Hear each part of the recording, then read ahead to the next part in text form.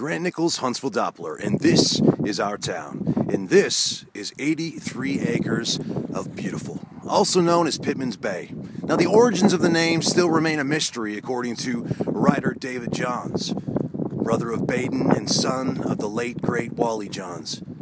It's hard to be at Pitman's Bay and not think about Mr. Wally Johns and his years of passion and dedication towards scouting within our community. Word had it that in 1945, Mrs. Bain was going to sell this property to some Americans to build some cottages.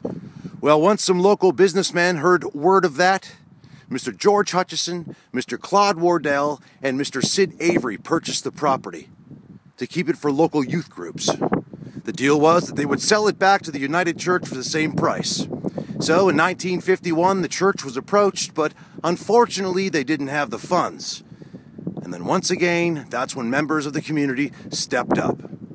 The Boy Scouts, the town of Huntsville, and many other merchants and private volunteers gave their time, their talent, and their money to maintain Pitman's Bay.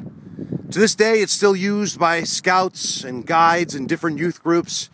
It's also available for rentals on weekend. Yeah, yeah, just call the town. Personally, I think this would be a great location for an outdoor concert, but that's just me.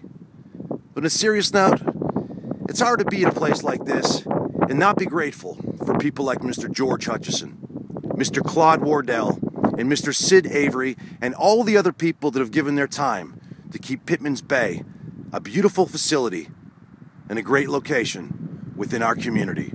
Grant Nickalls, Huntsville Doppler. This is our town.